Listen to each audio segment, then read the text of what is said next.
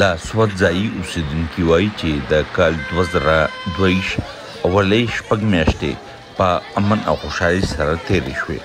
خو اوومه میاشت کې په غرونو کې د سه طالب وسله والو د راښکاره کېدو،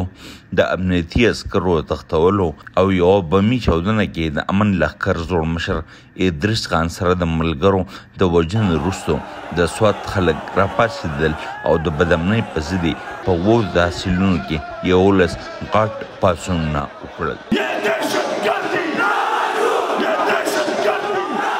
د دې پاڅونونو له کبله وسلوال د سوات نه ووتل او سوات کې بیا امن قایم شو. اوس موږ کوشش کوو چې یاره دغه سېلګرو هغه اعتماد بحال کړي، ځکه چې قوم راپاڅېده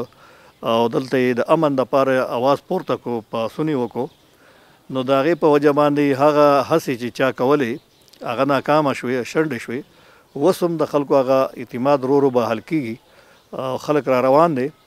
او د حوصله افزايي لپاره موږ کوشش کوو چې یاره دا جنورۍ ثابته میاشت موږ هغې ته پنځوس فیصده ډیسکاونټ ورکوو په کمرو په کرایه کې. د سوات پولیس وايي چې ټول سوات کې پوخ امنیت دی او د واورې کېدو سره یو شمېر سیلانین سوات ته را روان دي. تاسو یقین کوئ موسم دومره ښکلی شوی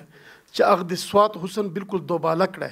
اوس تاسو ګورئ مالم جبه هم الحمدالله ډکه ده. کالام صورتحال تاسو ته خپله پته لګېدلې ده چې هلته څنګه واوره وشوه نو ټوریسټ نه ډک شوی. نو موږ هم ټولو ته دا تاسو په توسط باندې، وایس آف امریکا په توسط باندې ریکویسټ کوو په پښتو سې ایز اې ډسټرکټ پولیس آفیسر چې راشئ د سوات ښکلا وګورئ، د سوات امن به انشاءالله تاسو انجوای کړئ او د سوات موسم به هم تاسو انجوای کړئ، نو هر کله راشه پیغام ورکوو جي. د سوات ضلعي انتظامیې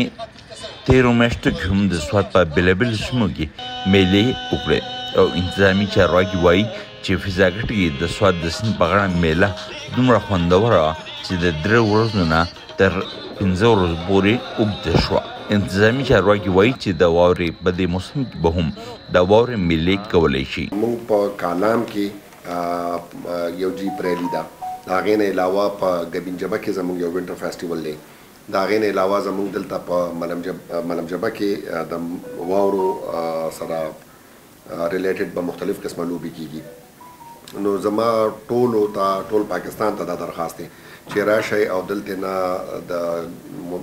کم د ګرمۍ موسم چې په هغې کې د سوات خایس بدلي خو دلته د واورو په موسم کې د یخنۍ په موسم کې د سوات د خایس نه محظوظ شئ او دلته دا ښایستونه ځان سره ویسئ. د سوات قومي جرګې،